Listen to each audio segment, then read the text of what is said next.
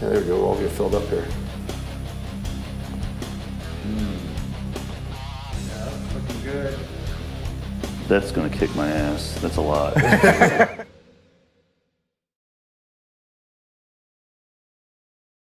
I'm Jujimufu, of course, and these guys are Mind Pump, and they have a very fucking awesome podcast. If you don't know who they are, you will by the end of this year, 2017. Everyone will know who they are.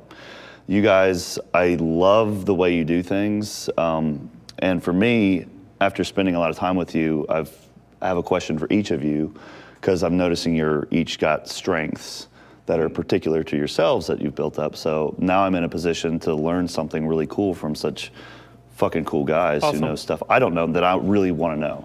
So my question for you to start with, Justin, is Okay. I've been interested in these clubs. All right. Maces, Indian clubs, I've been seeing a lot of that. And I do wonder sometimes how much time people are doing that if it's wasteful, but then again, it just looks fun. Yeah. And I'm wondering, in my particular situation, as a guy that does bodybuilding, mobility, Mm-hmm. uh, tricking, acrobatic stuff, how how do you what kind of value do you think that could give me, and what kind of exercises It's could I going to enhance what you already have. Okay. 100%, Yeah. So just think of it as a way to pattern more rotation into your training protocol. rotation? Rotation. Okay. Okay. So like internal, external rotation, scapular depression and, and retraction. Yeah. All these things all grouped in one. Wrist mobility, elbows, everything. So um, there's a couple staple moves that I yeah. Why don't you go? I'll go ahead and grab these. Okay. and we can kind of just go through like the basic swing. So this basically encompasses all those different things I just mentioned. So um, the first thing that you're going to do is we're going to pull these into the rack position here. Okay. So they're basically kind of pointed out, and I have a nice firm grip here with my wrists. So Oh, so you it's like in a neutral Yeah, yeah, you're- position. You're down like more on the ball, right? okay? Yep. You got to grab it by the You can ball. cut, yeah, you gotta grab those Grab balls, balls, dude. Don't be afraid. All right. Uh, and then we'll we'll get a nice tight grip. Um, what I'm gonna do first is we're gonna lift the elbows up, and Uh-huh. it simultaneously the clubs are gonna come back behind my head, Mm-hmm. and then we're gonna kind of cast them out. So I say cast it out because you want most of um, what we're trying to create here is this nice sort of a circular pattern, Mm-hmm. and you want to just sort of prime that movement uh, when you need to with with um, with your muscles, and then let the weight sort of do what they're going to do, and then you're going to follow and control that. So Okay. uh, we're going to cast them up by pressing them out, and then we're going to let them fall in front, and we're going to God, right Out cross the, right out the gates, you're gonna do two. and rotate. Yeah, you know, uh, typically I'll start with one just so you can kind of keep it under control. 'Cause I'm not even to two yet. Right. But this just, you can se- see how much rotation is going on here. As I pull out, I extend up, I cross, rotate my wrist, pull it back into the body. I'm trying to keep everything close to the body. Extend. So just me adding, I think I need heavier ones. Yeah. I feel like I'm just moving my arms. like, you're a strong guy. It's kind of like not having enough weight on the bar. Yeah. And like I don't feel it, and then you add, okay, now I'm actually. Well, show him like- one at a time. you- too. try- let's practice one at a with one, time. yeah. Yeah. Because the idea is to have this fluid, Yeah, this the- fluid movement that you're doing. We're waking up all the, the muscles that are going to be responsible for the shoulder rotation, like I was saying. But I can't even do two yet. I'm still working on one. But you actually want to get to a point where you're That looks trippy. moving really fluid. So it doesn't Yeah. take very much weight. I mean, my, th- my shoulder will be on fire after I do this for a Yeah, while. yeah, yeah, yeah, yeah, yeah, yeah. yeah. There you go. Yeah, yeah. And think about keeping your torso and hips squared up towards me, and you, all the movement is in the shoulder. Yes. And exaggerate that. So I'm exaggerating out, keeping it tight. Stay nice and upright. out. You got to make With your posture. when you're watching people do it that you stay away. Yeah, Because I feel like if I walk head. through there, I'm going to get beat Yeah. by a Now, bunch of now you're getting it. So anyway, this basically just adds load to something that you could do like a dynamic stretch, but now we're adding some resistance to it. So Ah, that's what I was going to ask. Is it like Yeah. a loaded dynamic stretch? Because I have to do these type of swing motions all Oh, the time. Oh, see, this would that's be great. exactly for what this is good for. Okay. This one is especially important for me. This right here. So Even you have wrist anything for like this. Rotation. Yeah, like uh, uh, dynamic flexibility for the Yeah, abdominals. Because all a lot of the movements I do twist on this. right. axis See, I'll probably use torque something like a stick for that, so I could Yeah. Um, press well, Maybe like that, Justin, this, move? this move with the mace it bell, here. the mace bell where you transition from side to side is great too. But just getting anti-rotation in the hips. Yeah. That way I get my upper thoracic to kind of press into it and get Okay. some tension in there. I got one of those at my house. Okay, cool. Yep, two of them actually. Excellent. They're cool. They're Yeah. a cool group of guys. And then Oh, the Anything stick mobility guys, that? yeah, they're great. Anything weighted for? Weighted this, for, for rotation with the yeah. clubs? Uh, What about Maybe mace the bell? gloves, how the- What about not mace bell? typically. What about water scooper or whatever it's called? Yeah, see, I mean, there's not a whole lot of uh, moves that I could think off the top of my head for that, other than um, what I tend to do is I'll go across and do like a lateral lunge or a Cossack squat. Okay. And I'll kind of do a chopping move with that. So I'll come across here Oh, okay. and pull back. Or, uh, but any, any, you can actually, some of my f- friends are really good at this, but uh, you can go into a swing and then you can kind of drop into a squat that way or Uh-huh. lunge. So there's a, I mean, there's plenty of fancy moves you can do, but So for these, I see people do these a lot. Mm-hmm. It's almost like you can do that with a plate too, right? you can do it with a plate, you can do it with a kettlebell where we do like halos and rotation. But All see, these you're are emulating. against levers here, so it's so, the Mm-hmm. weight's so far down there, it changes the weight. Yeah, you want the momentum to take it across Yeah. more than anything. And it comes up. Am I Right. doing anything there? I mean, I feel like I'm Show stretching my how- show how shoulders. to do it, Okay. Justin. I feel like I'm, I'm stretching my All right, shoulders. we're just all over the place. So here. wa- watch how he positions. Yeah. 'cause The hard Okay. part is this, is the, So it's the control factor, okay? So it's the same exact uh, positioning I was doing with the Indian clubs, except now I'm, I'm sort of uh, prompting it up here by lifting and raising my elbow, and then I'm bringing it up to the side, and I give it a little bit of emphasis there to push it across, okay? So as I'm kind of coming up, okay, my torso is moving just a bit to kind of keep that slow. pendulum going. It's hard to go we slow. Okay. Slow. It's hard to go slow because you need the momentum. You need the momentum to swing it So I'm. Yeah. pulling it down here. So The this momentum. part, this part is it's kind of kicking across, Are you using your shoulder to pulling it it back in. up? So I, I kind of kip it up, then I pull it into my body. You don't have to use your shoulder, but that's the direction. Yeah. So really, all the emphasis is on that initial Starting start. to, yeah, you're starting to get it. Yeah, that initial start, and then I'm going to drive my elbows down. So now you see how you're extending back and uh, try to stay upright with this. So Okay. you're just allowing the, the shoulders to rotate and do the work. Oh. There you oh. go. Yeah. You're trying to use your There, body too there much. you're getting it better right there. Now you're starting to get it. Squeeze your glutes, tighten the core. It should be a nice tight circle. feel a lot in my wrist. So, Excellent. so there it is. Mace bell swinging, Indian club swing. That's why I use these tools because there's not a whole lot to, you can do with the uh, dumbbells. It just it just provides a nice more of a fluid type of a movement. So, yep, that's why I like those. You think it's mostly the value is in uh, warm up, maybe, and just general mobility, or do you think you can actually do an entire workout routine around these? You could Oh do an entire God. workout. Yeah, it's There's guys that specialize in just yeah. working out with these types of Don't of kid yourself. You could load quite a bit. Yeah. uh, Oh, I've seen with mace people- bells and like a big like ball at the huge, end of it. huge. I mean, it- it- you can definitely focus like specifically on that as a workout. Um, however, the way I use it the most is probably to prime my body before a workout. Um, and that, that tends to be a good way to kind of wake the central nervous system up, get everything to respond the way I want it to. Yeah. Um, so that's probably the most ideal way to use it. Yeah. Um, but yeah, you definitely can use it as a workout. I mean, it'll it'll fry you. So, Okay. yeah. I think it's cool. I mean, I just they look fun, and it's just anything you can add that's interesting that keeps you. You feel like a warrior. Yeah. You know? yeah. Yeah. That's that's the best part of it. Well, I there, think. there's definitely a skill to it too. You know, it's not like one of those things where just anybody's going to pick it up and be able to do it. There's, it's That's why we just we just buzzsawed through all that stuff. No, that's yeah. that's just fine. I didn't expect an Indian club or mace training course. I just wanted you to Okay. see what, you- what value it could add into what I okay. already do. Sure. Sure. So thank you, Justin. Yeah.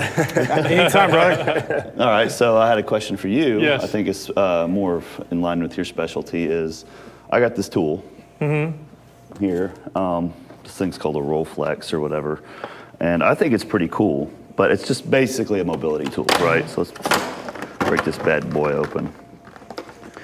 And uh, they're a great group of guys, but you know, when I when I see tools like these, and it's not just this one in particular, but any of them like a ball or a stick or any of that stuff, I, I, I tend to stray away from it because one, I'm pretty healthy as it is without having doing any of it. I think just based on the mobility practice I already do, it's just uh, full point. range of motion movements are the most therapeutic thing you can do. But I mean, every time I get massage work, they're always like, "You're super fucking tight on my like my calves and my wrists." They're like, "You need to do something about this. This isn't good." And I do have ankle problems when I Mm. do my moves. My ankles are my weakest link. So like with something like this or any sort of tool, I, I never know how to um, like Program it? program it, measure it, gauge it. Uh, just, I mean, I- I'm pretty sure if I did this right before a workout real hard or the day before a really hard workout, it would probably set me up for injury.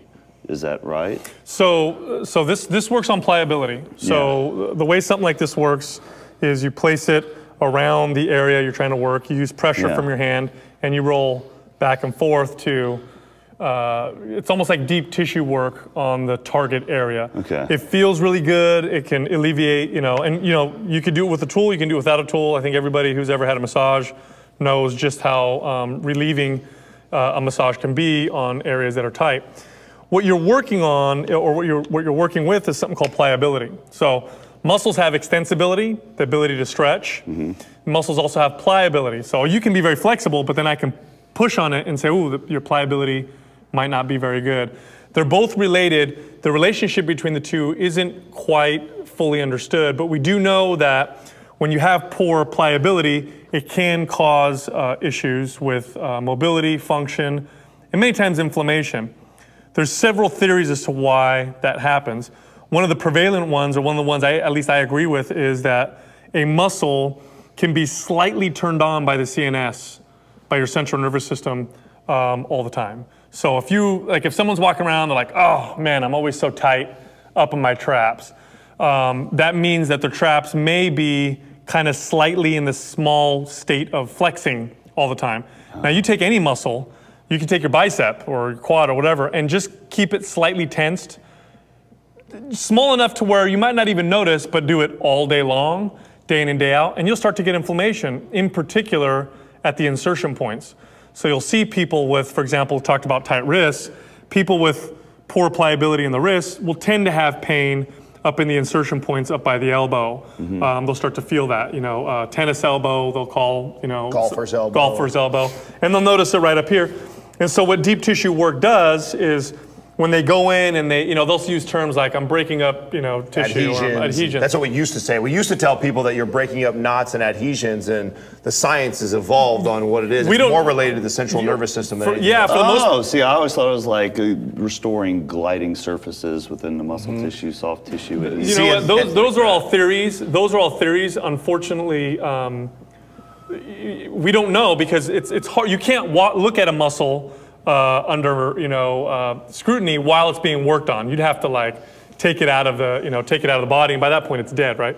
So those are all theories. But what what the more prevailing theory is is that uh, you know when you're when you're working on uh, those types of muscles, you are reducing the CNS signal to that uh, that affected causing it to relax muscle. and actually have a chance to recover. That's it. There you go. are causing it to relax a little bit. So you're right in the sense that if you did super, super deep tissue work on a muscle right before you did some kind of physical exertion, you may notice that uh, your chance of injury may go up because you may not you may not necessarily want to weaken that muscle. Okay. Sometimes you might want to. If I'm doing a squat and I've got an area that just is taking over, sometimes I want it to chill out a little bit so I can do a better squat. Yeah. So um, you know, tools like this, how do you program them in? Yeah, how do I know how much is enough? How do I know how far to take it? If you're going to do this, first of all, you got to go by feel. Um, it's going to be painful when you do it. Is it improving range of motion? Am I feeling better afterwards? Those are the, the, the measurements you want to use. Best time to do this? After your workout. Okay. So at the end of my heavy workout, now I'm going to go in and do some deep tissue work on some of the muscles that I noticed are just really, really tight. Um, that way I have time before the next workout. It's also the muscles got blood in it, it just worked out, um, and it helps. You know, we, we have a program that we call Prime, and we use static stretches and foam rolling at the end of the workout because what it does is it helps direct the signal that you sent with your workout. So, in other words, let's say you're overactive um, in your quads and your hips aren't firing uh, uh, like they should, and you're doing heavy squats. Well, at the end of your squat session, you want to reduce some of that overactivity in the quads. And I hate to use that term because that's not really accurate, but I think people know what I'm talking about. I'll do static stretches on my quads afterwards. And You what wanna that shut does, them down. You want it a little bit, right?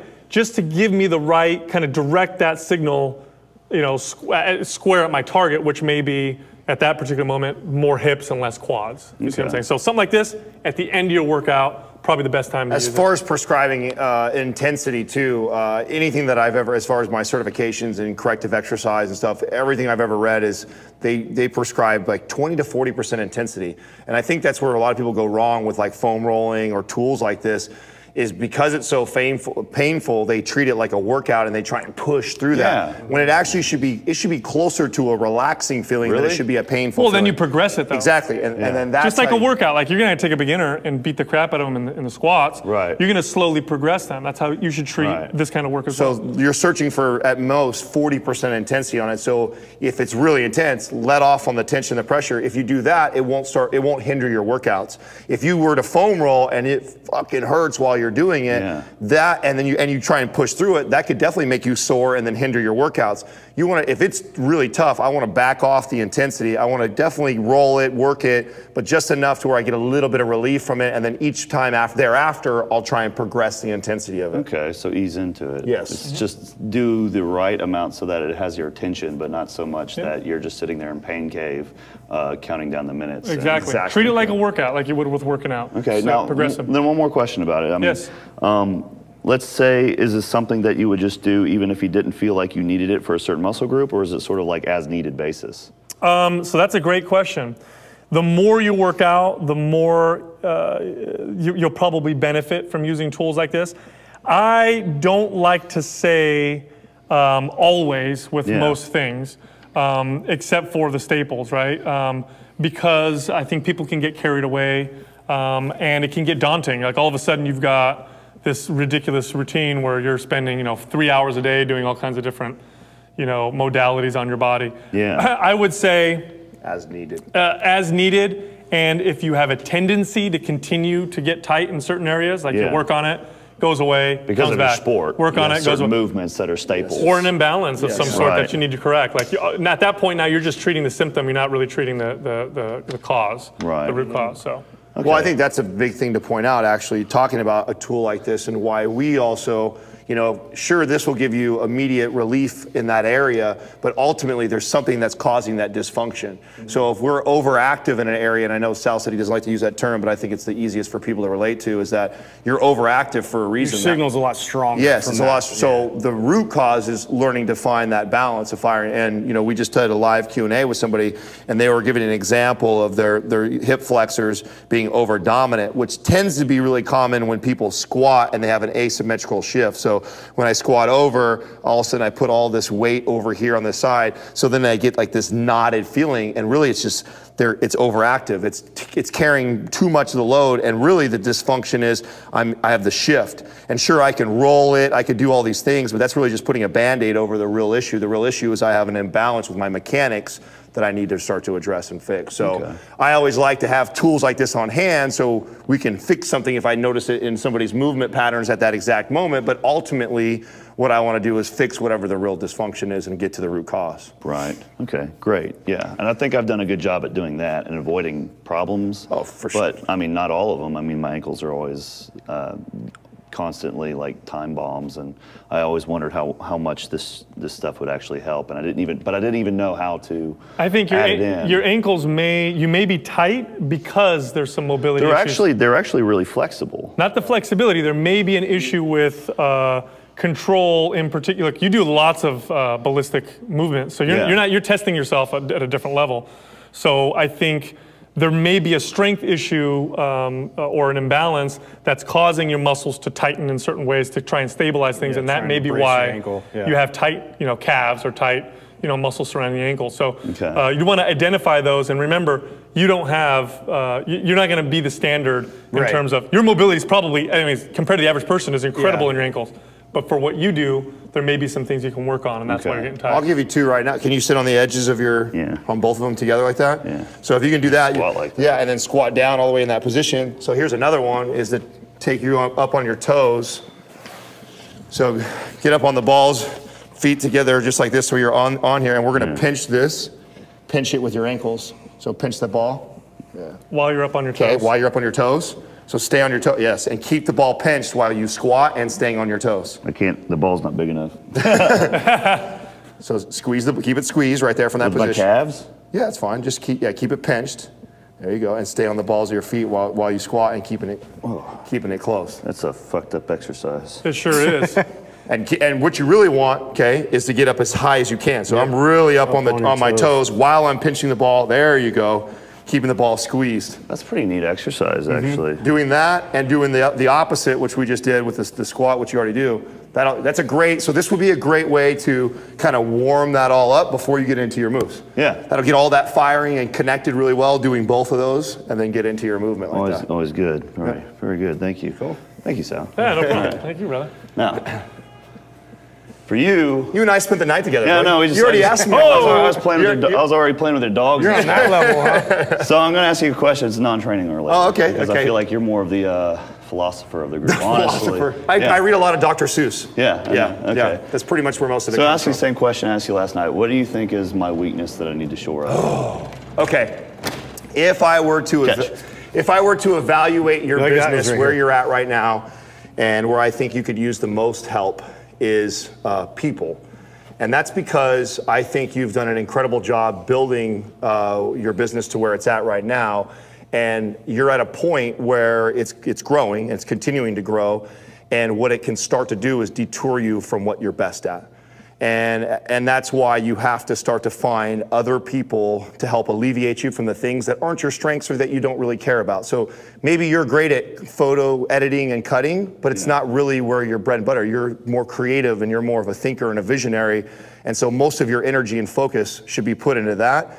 And these other things that you could pay someone an hourly fee or find somebody to do that at one point, whether you do that now or you do that in the near future, that is going to be necessary for you to continue to grow your business. Like you've got to find other people to alleviate the other things so you can continue. And I used to tell this, it was the best advice I ever got when I was younger. I was 22 years old. A guy came into me, was one of my coworkers who later on became one of my best friends. And I had just had my boss come in and he had just ripped me a new one. And it was crazy. I was so frustrated because I finished at 115% of goal. I was, I was celebrating. We had an awesome month. My, and all my staff, I was super proud of them. My boss comes in and rips me a new one and tells me how bad all my organization was. I And you didn't thought do- you were doing good. yeah, I thought I was doing good because we, we, we set all these records. We did great things on the, from a financial. You thought you were going to get praise. Exactly. Oh, wow. And he came in and told me all the things that I was doing that was incomplete and all the, these areas that I was failing. And it really beat me up. And so then the next day I was just, I was fixing all those things. I was working on my organizational skills. I was working on my binders. I was getting all organized. And my buddy came over and he says, what the fuck are you doing? Yeah. I said, oh, my boss came in. And he said, I'm not doing this. I'm not doing that. And he took my desk and he goes, whoa. Really? Yeah. And I was like, bro, what are you doing? Like this, he's like, listen to me. He's like, you're in the position that you're in at your age for a reason. Stop focusing on the things that you're not good at. Focus on what you're good at and become great. And like this light bulb went off in my head that I was just like, never again am I going to waste my time on things that I don't like doing, that I'm not very good at. There are things that I'm obviously strong at. I, what I need to do is to focus my time and my energy and what I love doing and what I'm good at and become great at it. And that was like forever for me, like some of the best advice I ever give, and I think, or that it was given to me, and that I feel like I could share with others. That you know, so easily when you're building a business, you know how daunting it can be and how many different legs and things you have to focus on. Is realizing where you're good at, what you enjoy doing, putting most of your time and energy in that, and the other things you need to learn how to delegate out. I actually others. had an experience with that recently where I was thinking about, uh, uh, you know, I just got a new place, it's bigger, got to clean it, right? So, like, you know, twice a week you got to go in and clean the whole house or whatever.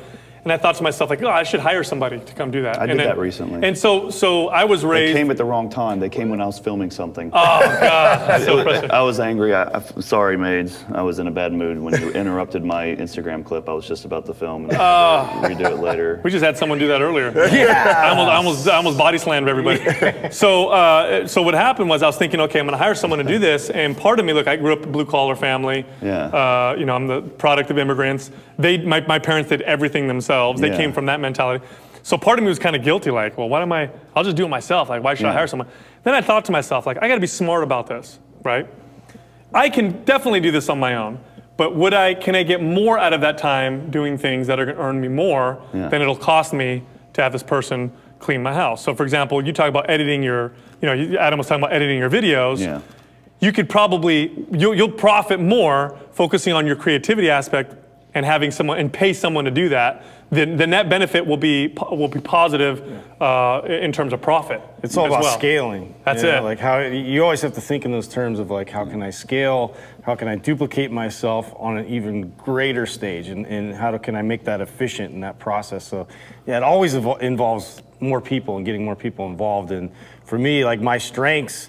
Um, are limited, you know, my, my strengths. And so I know what I am capable of doing and I want to focus in on those strengths, but then I want to surround myself with people that, you know, will enhance what I'm doing at that high level. So Well, I, I actually think it's hard. Like, I can see, like, exactly what you're saying. And I've even thought about myself, like, this is something that someone else can do. Here's something I can do that they can't do, that no one else can do. This is what I need to focus on is the irrepro- irreproducible stuff that no one else can do other than me. So I need to outsource the other things to people that can do these other things. The problem is, maybe it's a skill I'm still working on, but it's like, yes, this is what I need to outsource, but actually doing it is a skill in itself. And Delegation that's- is a skill. It is. it is hard. Delegation is a skill. How do, how do I how do I judge whether the, uh, where the best places to find the people are the best the best way to Well, that's a process. fairest trade? It's hard. That's a Yeah, process. it's It so presents hard. itself sometimes. It's so simple. Just Yeah. get someone else to do it. Well, yes, I know that someone else needs to do it, but it's so fucking hard to like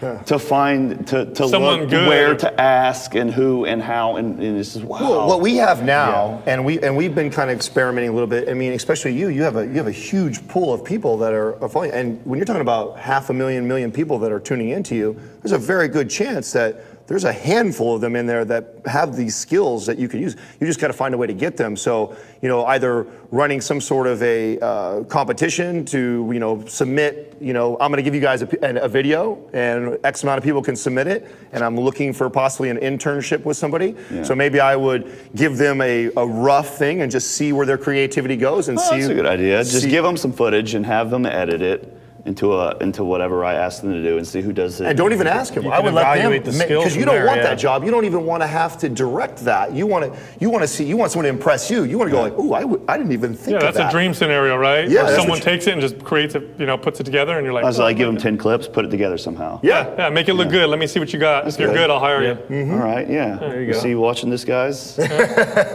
Contact me. excellent you know what my problem is. So, so I don't know. I'm kind of reaching out. I'm, I'm grasping for straws here. Could really use some help. Yeah, I think that I think doing a, a, a like you said, put together a clip, find uh, get some people to submit to you that that's either one their degree that they already have or that they're currently going through, or just a passion that they love to do that. You'd be surprised, man. We that's how right now we're we're currently doing that with uh, look, searching for bloggers. Yeah. And you know we want it. We're looking. We have a ton of people that said they could blog for us, but we're looking for something specific. And so one of the things we requested was, you know, we want four or five examples of how you would write and blog about Mind Pump. Mm-hmm. And then we all sat together and said, hey, I really like what this guy is saying. This is great. Like this totally represents our brand. And let's get this guy on a call. And then let's see where we can go with this relationship. And Okay. I think that's how you start. You just start with gathering people that would be even interested in doing that. And then from there, you can figure out how they're going to fit into your, your business. Okay, mm-hmm. Fantastic. Cool. Man, it's so I'm so lucky to be able to that you guys would invite me to come and just. Of course, oh dude. man our pleasure So you know, I you can tell so much about a man by two things, man. Either one, you're a roller skate motherfucker, Okay. or, or you're a bike guy. Are you a bike guy or are you a roller skater guy? Uh, I'm not sure, man. What are you, Sal? I think bike what about you Juji I think Juji's a roller skate guy. Are you a roller skate guy? Yeah!